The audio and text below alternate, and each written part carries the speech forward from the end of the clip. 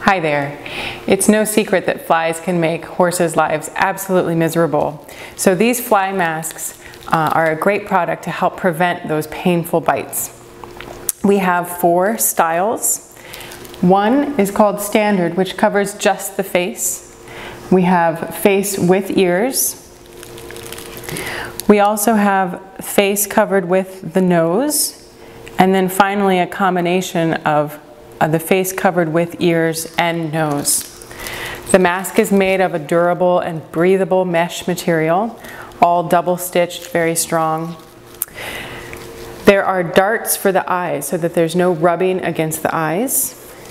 It attaches with double um, Velcro, so very strong. And then if you'll look at these ear coverings, it's a, it's a flexible, breathable material, so it's very comfortable for the horses. It comes in seven sizes. Mini or foal, that's just one size. Weanling, yearling, Arab, horse, warm blood, and draft.